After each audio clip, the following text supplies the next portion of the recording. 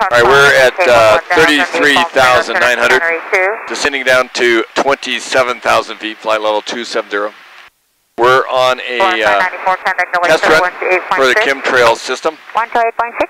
Uh, we are over desert uninhabited areas, so it looks good. Uh, it's important to do this properly and uh, make sure that uh, your contrails have the specific consistency to distribute the chemtrails properly. So that's what we're going to do. So we've got our chemtrail system uh, wired in. We'll show that to you in a minute, and uh, we'll make it operational. Okay, we're descending down to flight level 270. We've got our chemtrail system hooked up, all configured. First thing we have to do is put it into the prime position. Prime the chemtrails pumps. Got that?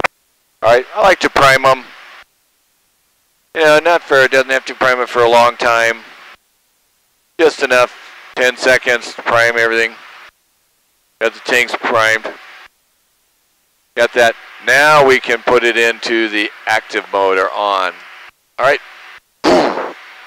Now all those special chemicals are being dispersed through the, the contrails. Doesn't take very long to empty the tank. Usually about 30 seconds. Oh, coming up. That's about 30 seconds. All right, cool. Now we turn it off. We are done. And we're fully deployed before we get down to flight level 270. Important consideration.